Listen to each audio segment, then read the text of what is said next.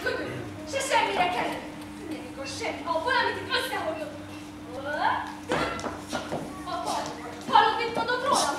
Hallod, hogy beszél velem? Azt vagyok, élősködő vagyok. Ah, mindent én csinálok itt. Mosok, főzök, takarítok, vasalok. El akar kergetni a háztól! El akar kergetni a háztól! Mi ez a lárma már megint, mint a két macska farkát ráncigálnak egyszerre? Megzavartál. Apa! Apa! Apa! Apa, csak egyszer hallgatnál meg! Nem tűr a háznál az új anyám. Inkább úgy mondanám az új feleséget.